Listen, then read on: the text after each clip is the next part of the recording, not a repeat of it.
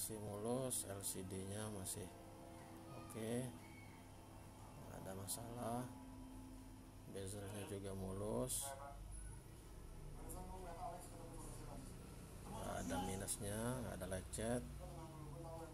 Tuh. Hmm, belakangnya juga backdoornya oke. Cuman minusnya hanya nggak bisa baca SIM card hanya WiFi only. Nggak tahu kenapa. Kalau internet lancar. YouTube lancar. Semua lancar semua. Itu aja. Belum pernah dibongkar masih orisinil masih press masih press fingerprintnya off nggak bisa fungsi nggak tahu rusak. Fingerprintnya nggak tahu